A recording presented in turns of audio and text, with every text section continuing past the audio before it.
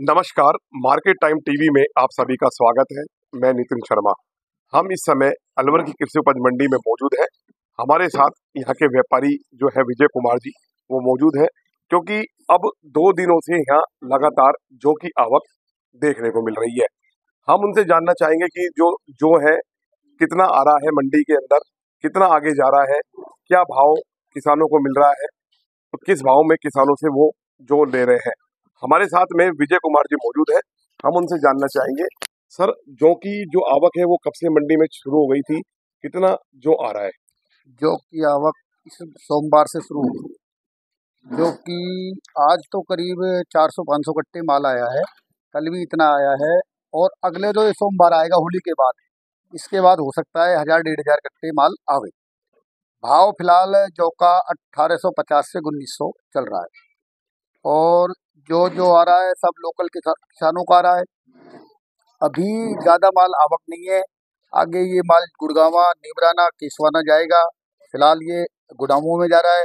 इसके बाद जब इसकी बम्फरावक होगी तो ये सारे माल्ट फैक्ट्रियों में माल जाएगा। क्या आगे किस काम में लेते हैं? इसको माल्ट बनती है जो की माल्ट बनती है कुछ जो हल्की क्वालिटी का होता है वो कैटल फ़ीड में जाता है। अभी किस क्वालिटी की जो अभी क्वालिटी अच्छी क्वालिटी अच्छी है जो अच्छा। हाँ क्वालिटी तो, अच्छी है इसका वेट पूरा है और मॉइस्चर भी फ़िलहाल तो ठीक है ज़्यादा नहीं है अगर बारिश दोबारा हो गई तो फिर मॉइस्चर आ जाएगा।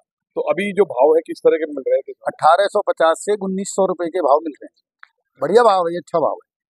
पिछले साल से भी अच्छा भाव चल किस तरह का मोटा दाना है? दाना अच्छा है बयालीस ग्राम तक टी सी डब्ल्यू है चालीस से बयालीस ग्राम। अच्छा, अच्छी क्वालिटी अच्छी बढ़िया। आगे कहाँ जाएँगी? ये आगे गुड़गावा केसवाना निमराना, ये जो माल्ट फैक्ट्री है बड़ी बड़ी इनमें जाएगा। कुछ माल जो लोअर क्वालिटी का होता है, वो उदयपुर साइड जोधपुर साइड अपने इसमें जाता है कैटल फीडर प्लांट हमारे साथ में व्यापारी विजय कुमार जी मौजूद थे। उन्होंने बताया कि जो की जो आवक है, वो सोमवार से शुरू हो गई। लेकिन अभी जो आ रहा है मंडी के अंदर, वो कम मात्रा में आ रहा है। मंडी के अंदर जो का जो भाव है, वो काफ़ी अच्छा किसानों को मिल रहा है।